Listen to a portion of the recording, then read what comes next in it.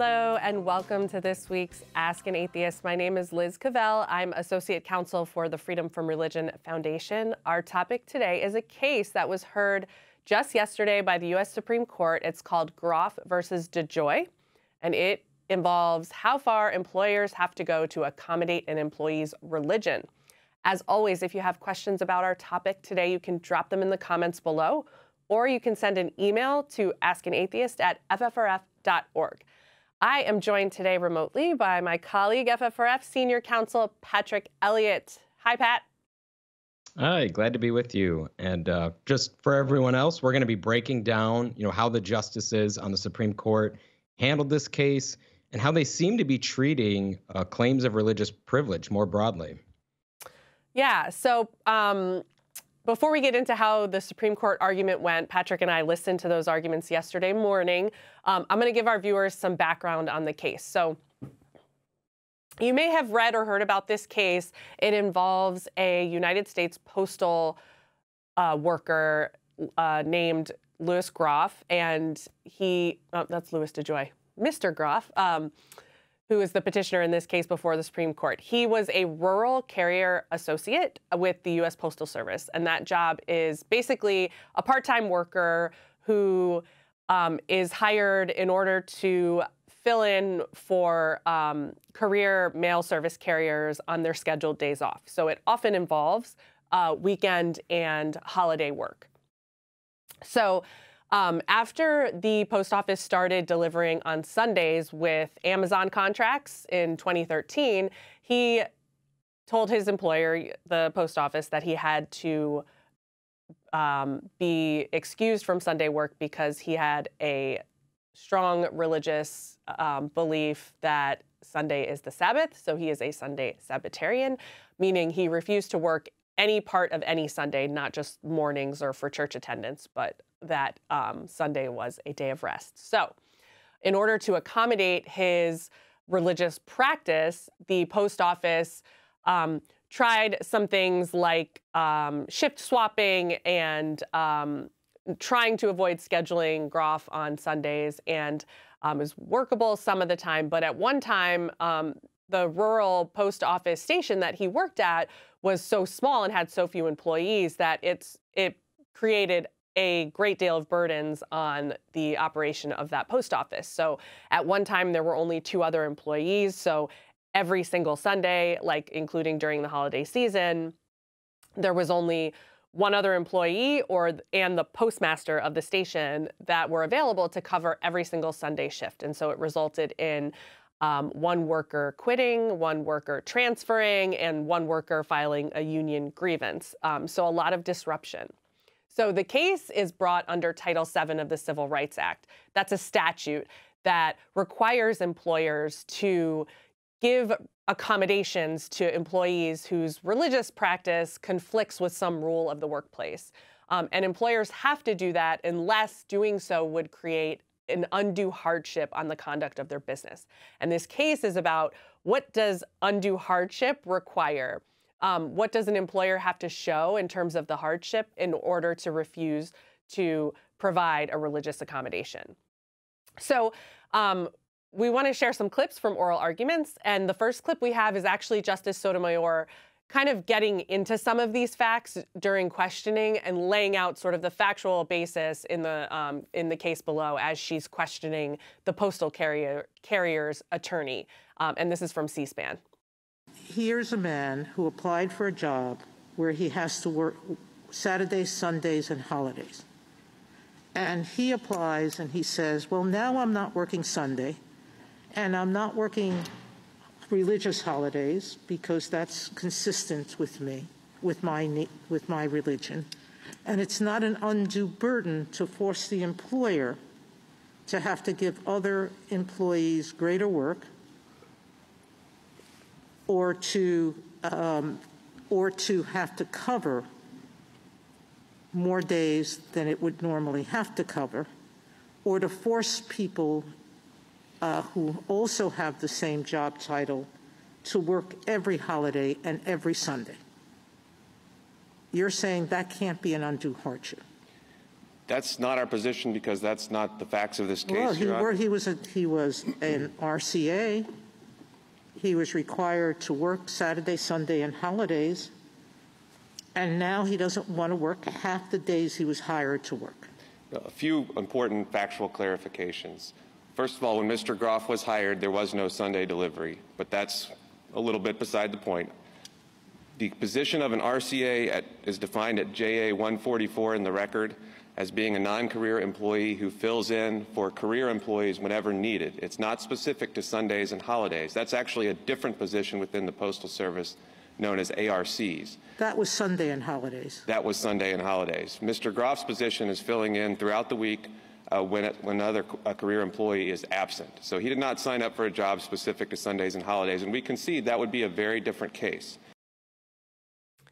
I actually thought that was pretty significant, that last sentence um, where he conceded that um, uh, the, the sort of the essential sort of purpose of the job that you were hired for um, could factor in to like the reasonableness in a different case because um, I, I think he was he was portraying the rural carrier associate job a little bit differently than the, USPS advertises that job. Um, it it is a job that um, is specifically filled in order to um, provide coverage for career mail carriers on scheduled days off. And so that is often going to be weekends and holidays. Um, there are additional positions that they use for um, additional coverage, but it, is part of the RCA gig, at, at least now as the way USPS advertises it, um, to understand that you're going to work um, holidays and weekends. So, uh, granted, that didn't include Sunday at the time that uh, he started before Amazon contracts were in the mix, but um, I do think that that was something that ju- the just some of the justices found significant, and I think it was kind of a big deal, or it struck me when counsel sort of conceded that that fact would really make a big difference.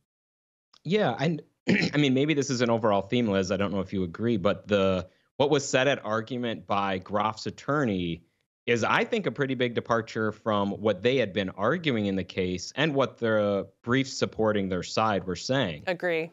Because you know they're coming in saying, well, that we really need, um, you know, to look at the facts. This is why we kind of had this clip that was a bit lengthy, so people could understand some of the nuance here because this isn't a normal postal carrier, which we all, you know, it, back in the day, they wouldn't deliver on Sundays. Now we live in a different world where packages are a big part of postal delivery. And um, particularly in some of these rural areas, there's very few people that are available to deliver packages. So Groff was in those people that needed to cover Sundays and deliver packages on Sundays. But there's a little bit of concession, I think, being made, um, which is why we wanted to play this part. And and the other concession, Liz, that, I think um, you know you had drafted an amicus brief for FFRF that that you know I had contributed to, and we filed this with the court, kind of in response to what Groff was arguing, but also what some of the other side, you know, there's other briefs coming in, and they're really pointing out. Um, oh, it, it doesn't matter that you know the burden you put on your coworkers. Um, you know, you know the fact that other people had to work Sundays to fill in for him was one of the pieces they were arguing, and so that that was what they were arguing in their brief. And then at argument, you see a little bit of a pullback. Oh, maybe maybe there would be some um, issues if coworkers, you know, had to continue um, to fill in.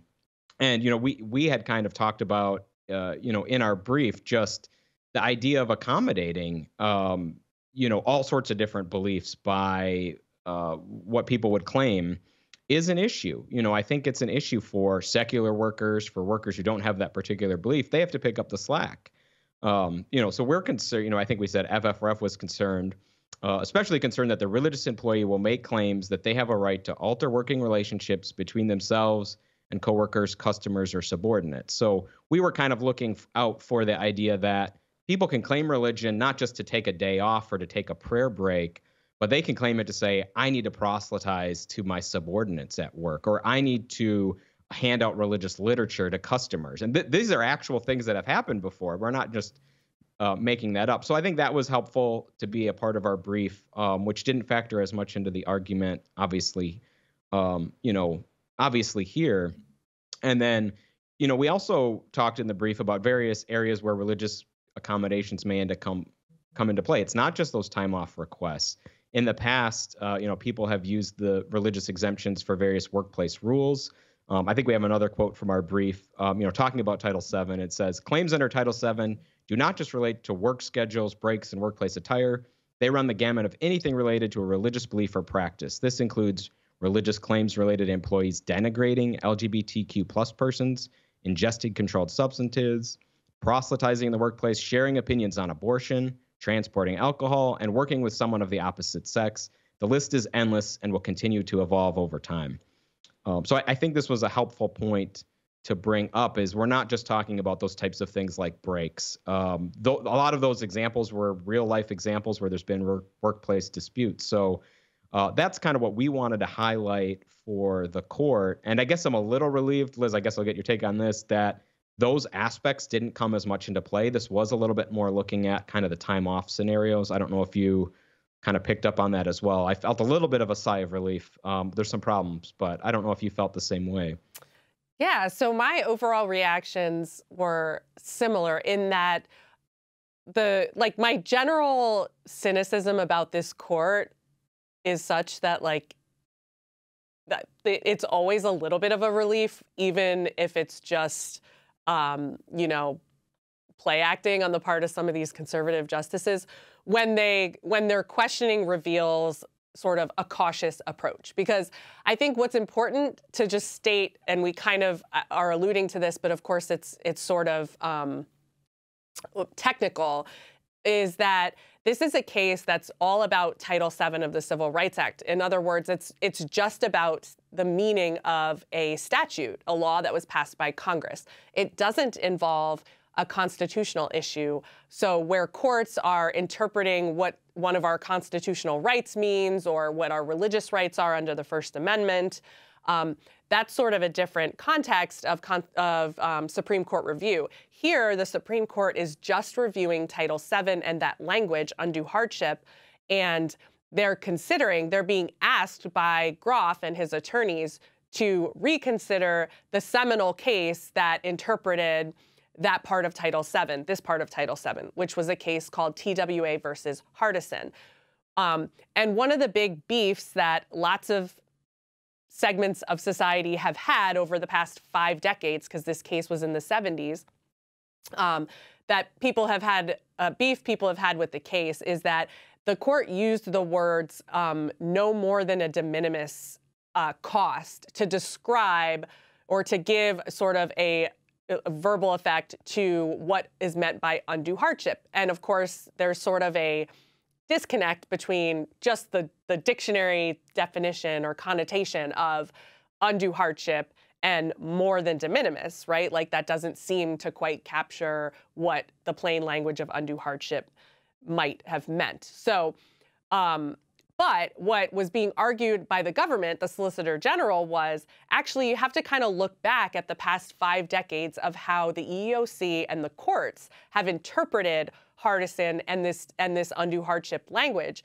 Um, and the truth is that actually, um, you know, it's it's more than just that de minimis language. This is it's not the situation that um, religious uh, employees are getting shut out of court left and right. And the, the reality is that religious employees are um, frequently awarded accommodations. Employers are frequently ordered uh, by courts to um, give effect to employees' religious accommodations. So it's not the case that this is a um, that this that the Hardison standard is is creating problems and curtailing you know religious liberty. It's just that um, this particular plaintiff and the agenda of the plaintiff and the lawyer and the groups behind the plaintiff is to really expand and continue to expand the rights of conservative Christians. And one way of doing that is to blow open our laws with these big religious exemptions. So, one of the big issues that keeps coming up with this Supreme Court, and it was present in this case, is when should the court overrule prior cases? And we know that this court has been very aggressive about overruling prior decisions. They overturned Roe versus Wade Um, they have upended the Establishment Clause doctrine in other cases, including last year, uh, finally overruling and putting the nail in the coffin of the Lemon test. Um, and so that's a really big deal, especially here where we're just talking about statutory construction. The court is supposed to be cautious. And we heard Justices Kagan and Jackson um, really like noticing and giving voice to that problem in oral arguments. Um, like, why should they overturn precedent where the question isn't a matter of constitutional interpretation? It is statutory construction. So let's listen to the clip here of Justice Jackson talking about that issue. With respect to the questions about the Establishment Clause and the shifting um, uh, views as to what the Constitution permits, is there any impediment to Congress's acting now? I mean, setting aside um, the fact that there may have been a, that there's been a change in terms of the court, presumably Congress knows that and could change the statute now, right? Uh, absolutely, Congress could change the statute now, and the question is just whether this court should place on Congress's shoulders the burdens of this court's error in Hardison. But, but, well, that assumes that that's the reason why Congress picked uh, this particular test. But I mean, isn't isn't this a policy question at bottom for Congress? And I guess I'm a little worried about uh, the the history of people um, going to Congress and the many, many bills. Apparently, you know, Hardison has been on Congress's radar screen for a very long time, and they've never changed it. And I guess I'm concerned that, um, you know, a, a person could fail to get in Congress what they want with respect to changing the statutory standard and then just come to the court and say, you give it to us. Why shouldn't we wait for Congress? Now that the uh, uh, uh, you know, law has shifted, as Justice Alito pointed out. Why isn't this the opportunity for them to act? So Justice Jackson, yeah. like, really hit it on its head um, a little more politely than I would have, which is that exactly what's happening in this case is what she, you know, voiced her concerns over, which is Congress hasn't done this thing that the religious right really wants to see done uh, in the law. And so they're going to the court where they know they have um, an, an ideologically aligned uh, supermajority that is open to this argument and they're asking them to to do to title VII what congress has not done and one of the things she's alluding to in that question there um, a couple of things one is that one of the things brought up by by some of the like you know, uber activists, um, even in oral arguments, Justice Alito was pointing to, um, and, and Justice Roberts, the idea that, well, since Hardison happened in the 70s, the doctrine um, interpreting the Establishment Clause has changed so much. Um, and in other words, we, the, the Roberts Court, have eviscerated the Establishment Clause. And so some of those concerns about um, Title VII not being neutral, in other words, favoring religious employees that might have been motivated by the Establishment Clause, now that's not a concern anymore because we have, you know, just dismantled the Establishment Clause. So maybe that's why Congress hasn't acted for fear of running afoul of the Establishment Clause, and we should step in and just do it.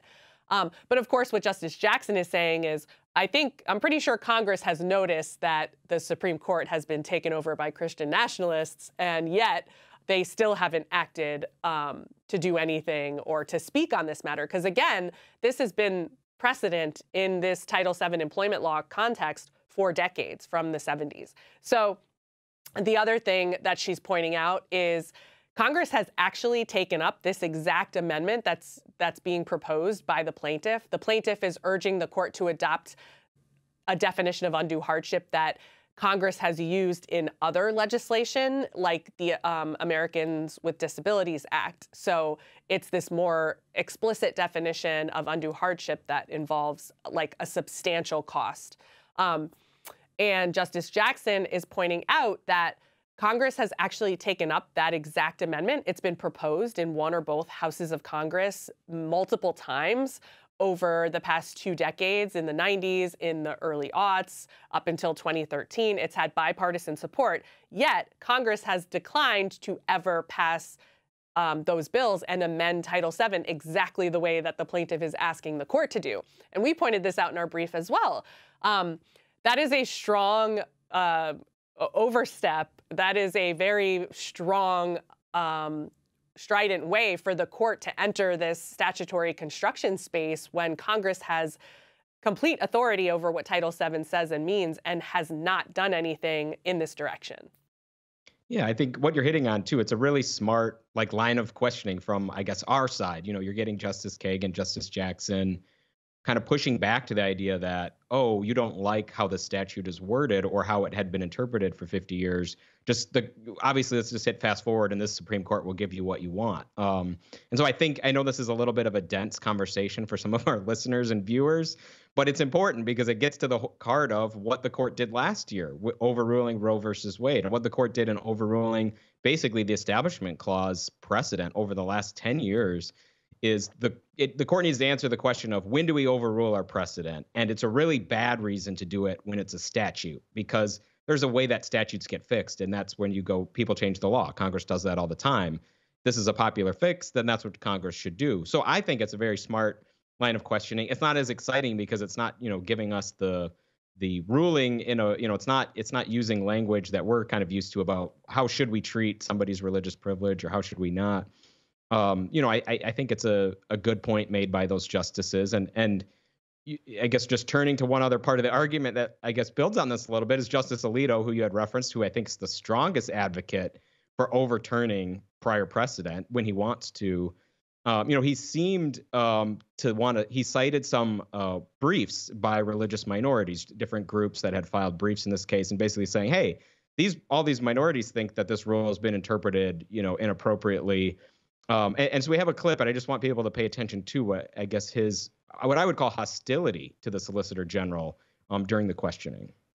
We have amicus briefs here by many representatives of many minority religions Muslims, Hindus, Orthodox Jews, Seventh day Adventists, and they all say that that is just not true and that Hardison has violated their right to religious liberty. Are they wrong? They don't. They they mis they misunderstand what the lower courts and the EEOC has done in our view, they're not accurately portraying how Hardison has actually played out in the lower courts and the substantial zone of protection for religious exercise that lower courts have recognized in light of Hardison. And if you are looking for more information to try to get a handle on the, the wealth of case law out there applying Hardison, I'd urge the court to consult the EEOC's compliance manual. We cite the manual uh, throughout our brief, and it provides, I think, an excellent overview of the types of accommodation claims that come up again and again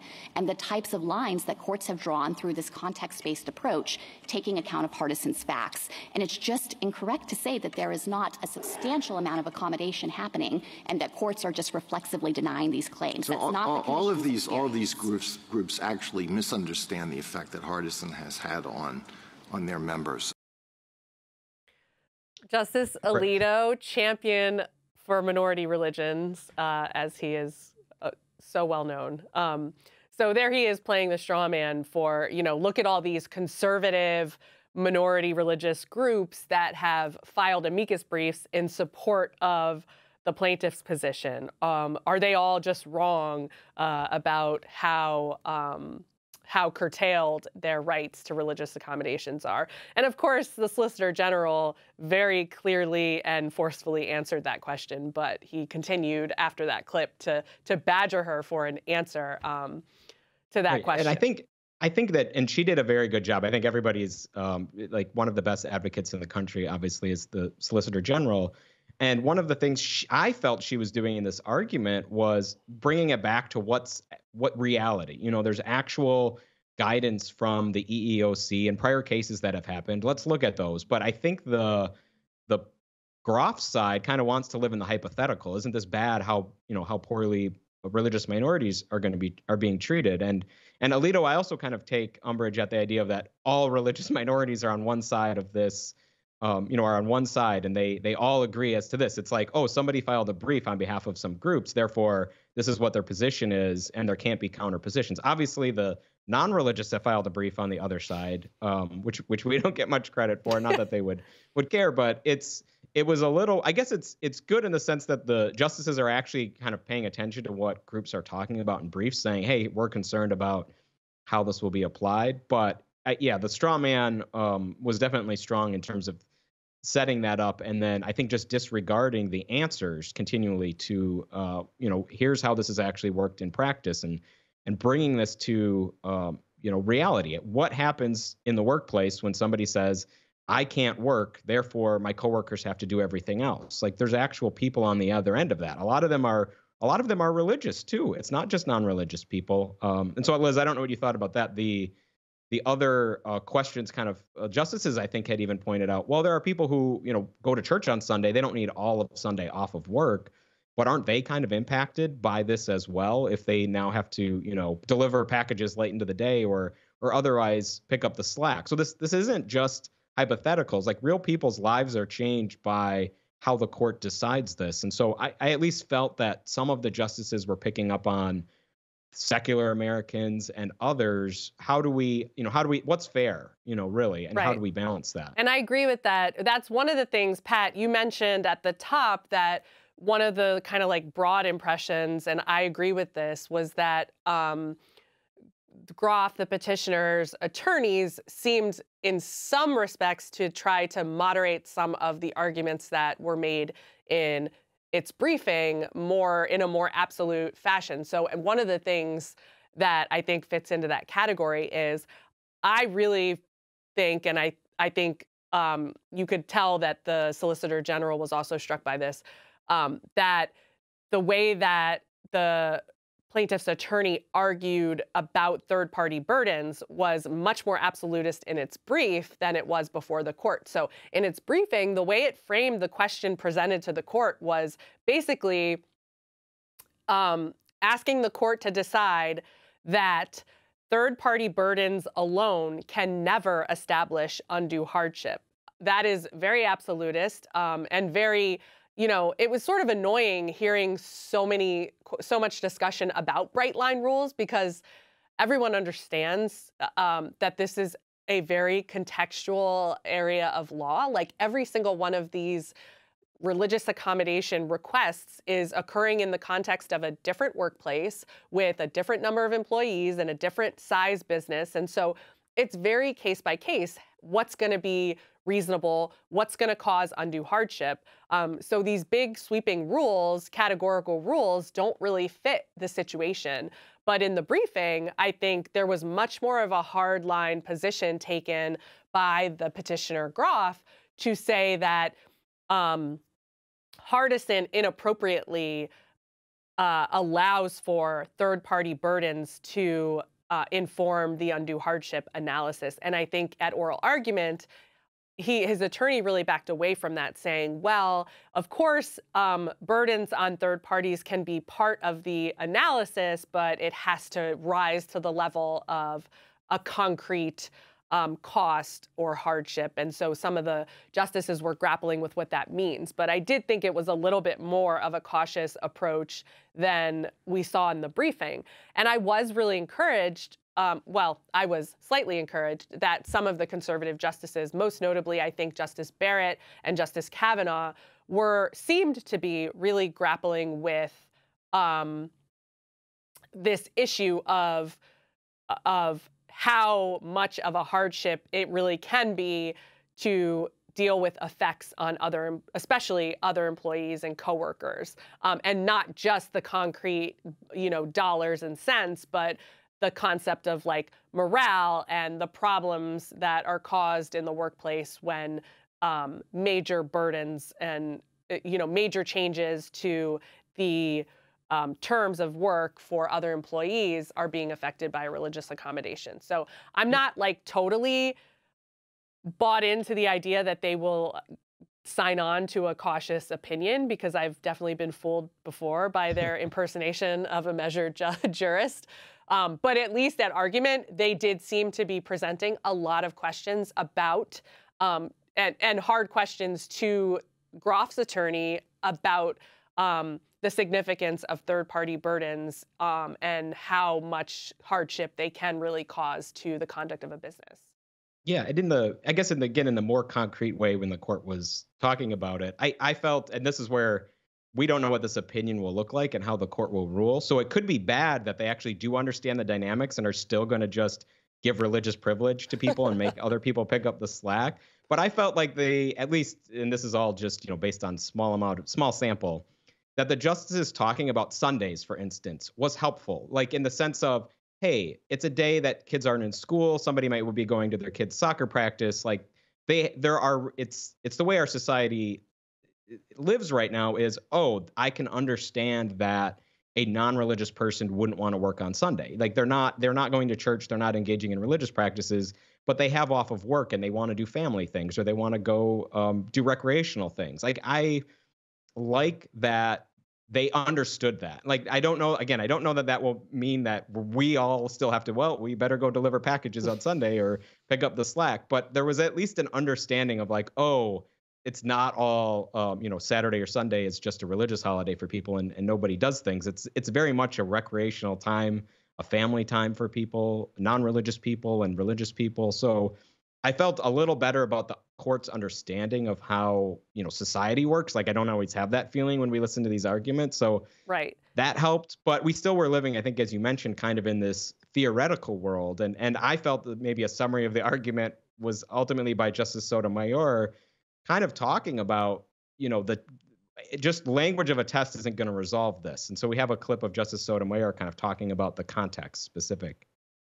What's clear to me after all this discussion is that as much as we, some people might want to provide absolute clarity, there is none we can give, is there? Because it's all contextual. Yes. And to that end, there are going to be some cases where people are going to be unhappy with the court's result and others where they are happy. Um, the best we can do is do what Congress told us to do. Yeah, that I mean that really did sum up a lot of the the the broad problem with um, this case and you know its sort of uh, its goal of of broadening Title VII in order to more you know robustly privilege religious employees. It's that you know the context of the case is just it it's the court is just not the appropriate place um, for this policy decision to be borne out because this is something that is happening, like we said, in the real world in these individual workplaces on a case by case basis. And when it does rise to the level of the courts or the EEOC getting involved or both, um, you know, th- these cases are being resolved um, based on really specific facts and circumstances that don't lend themselves to categorical rules. And uh, very often they are um, ending in favor of uh, religious accommodation. So again, we don't have a crisis of um, religious employees being, you know, shut out of the the marketplace or shut out of their their jobs and careers because they're unable to resolve these conflicts between religion and their work. Um, this is a this is Title VII is a um, is a statutory scheme that by and large is working. Um, it's working in a way that is um, is or gives respect and you know gives favor to religious employees and helps them resolve these conflicts. And so, upending all of these decades of employment law that has been built under this Title VII scheme would just, you know, sow more chaos in a space where the court really shouldn't be acting anyway. Right. And I think, you know, one of the things that we've talked about that wasn't in the context of we're all just thinking about Sundays off, but there are a lot of other ways in the workplace that religious accommodations can play out. So one of our fears was again, I kind of mentioned the the proselytizing um, being a concern, and so far the employers have done pretty good job in terms of winning those cases. They think it's wrong for a supervisor to be pushing religion on a subordinate we run some legal risk if they do that. You know, we can get sued for religious discrimination. And so far, the balance has been pretty strong in favor of, you know, I think the, the employers have correctly been winning a lot of those cases, not all of them. But the concern here is if the court, you know, if the court changes the test and say, employers, you have to really, you know, r- there's a really rigorous proof to show that you're substantially burdened. Um, you know, you're going to have to show substantial costs. And we don't know what that will be, um, that's going to tip the scales, and employers are likely going to say, "Oh, well, I need to be the most accommodating and allow my employees to do things that are actually harmful to, you know, other people." So that that's one of the concerns we have, and I don't know, Liz, if you've. It's so hard just from argument and from the briefing, but if you have an idea of what how narrow might the court rule on this, I, I don't know if you have a take on that. Yeah. So you know me, I I don't want to take a very like hopeful view of what's going to happen because I do think it's not just you know my own conspiracy mindedness. It really is true that like this court um, has an ideological agenda, and so you know you look at who's behind this case. It's First Liberty Institute. It's one of the Christian legal um, outfits that is just fully committed to this project of priv- privileging conservative Christians in our in all areas of civil society and especially under the law.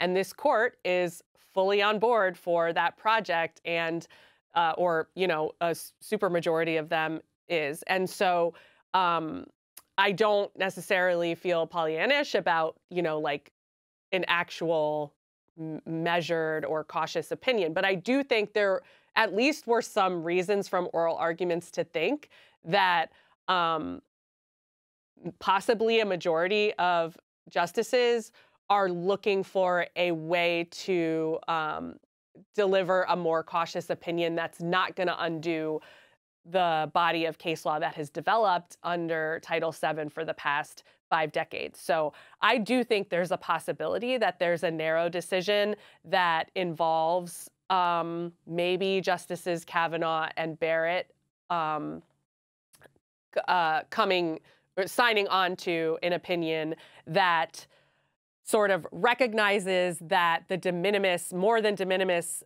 language is problematic, but that doesn't overrule Hardison on its facts and therefore sort of start from scratch in terms of how we apply Title VII in the employment context. What do you think? Yeah.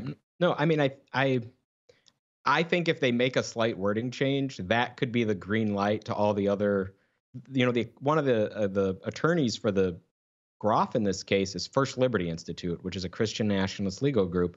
If the wording changes by the court, and then people can then claim, oh, that has completely reshaped the law, it may be out of the court's hands for people to sue and to to bring, you know, these types of claims. So I'm my overall impression was that the court wasn't really looking to completely upend employment law. So that's good.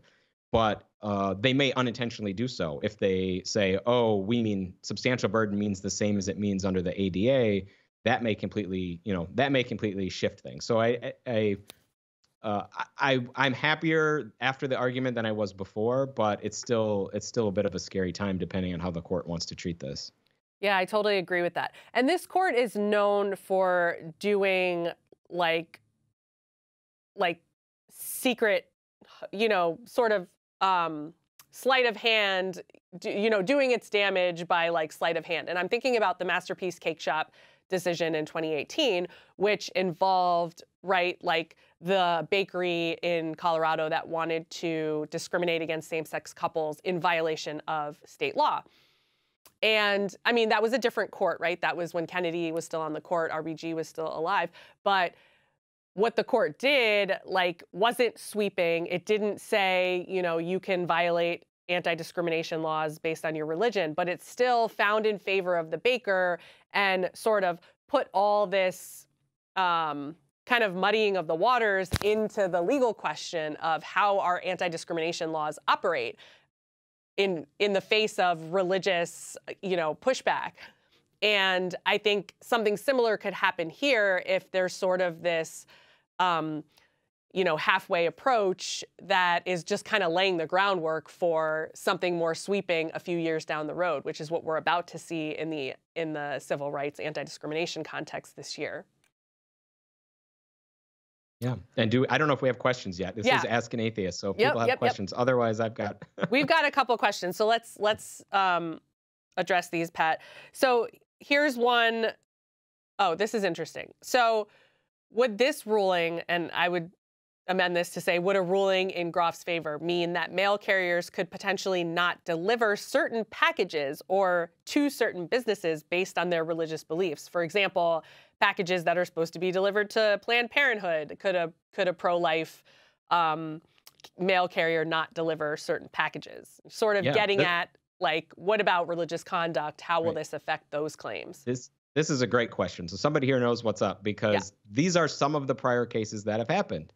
Um, there have been cases by um, Muslim transportation truck drivers that did not want to deliver alcohol, and the court had to go through analysis as to whether, you know, could that be accommodated. Obviously, if you're driving truck for Budweiser, you know, you're not. That's not going to be something that could be accommodated, but maybe it could be if you're a smaller employer. Um, and the other context is this has come up in cases, and the courts have had to rule on is actually law enforcement. There was a case where a law enforcement officer didn't want to guard and protect uh, an abortion clinic. You know, when there had been need to do so because there had been confrontations, and it came up that for whatever reason the, the police department could sometimes transfer him or, or do whatever, but sometimes they couldn't. So these are like real cases where somebody has a religious belief, but then there's kind of some other view and do they have to accommodate? Under current law i think that would be a huge problem for the post office because of all their other regulations about you don't necessarily know what's in a package unless it's you know flagged as hazardous. So this is not going to work. Right.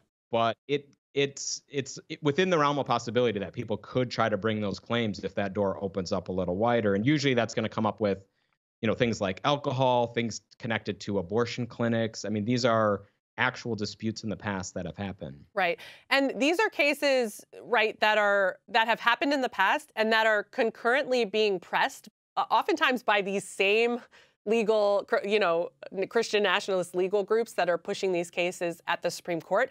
They are also building these cases in the lower courts. So one I'm thinking of that came up last night was um, a nurse that was fired from like a CVS pharmacy or clinic um, for refusing to dispense um, birth control in contravention of her religious beliefs, and they they adopted a policy that um, this is interesting, Patrick, that religious accommodations could not be made um, that involve the essential function of the position. So dispensing medication is viewed as esse- essential to the job of, you know, a pharmacist or whatever, a clinician there. And so um, they wouldn't provide accommodations that involved refusal to dispense um, certain medications. And so she is suing. Um, and other I, similar claims have been brought against pharmacies and hospital systems for similar um, uh, Title VII claims that involve employees that don't want to perform functions of the job that conflict with their religious beliefs. And that often involves um, you know, providing services or, you know, providing health care to actual patrons or patients of the business. And so, um, of course, all of that will be affected by a decision in this case. right right So here's another one, Pat. this gets at a, I think, an important issue that we could kind of clarify.